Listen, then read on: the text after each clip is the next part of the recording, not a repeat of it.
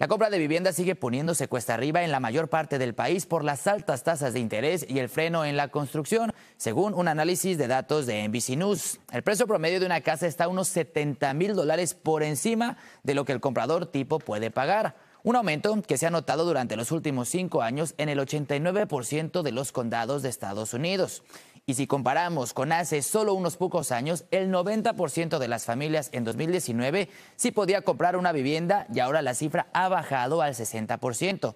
Además, no todo el mundo puede dedicar solo el 30% de su presupuesto mensual a la compra de una casa. Esto incluye la hipoteca, impuestos y seguros, que es lo más recomendable.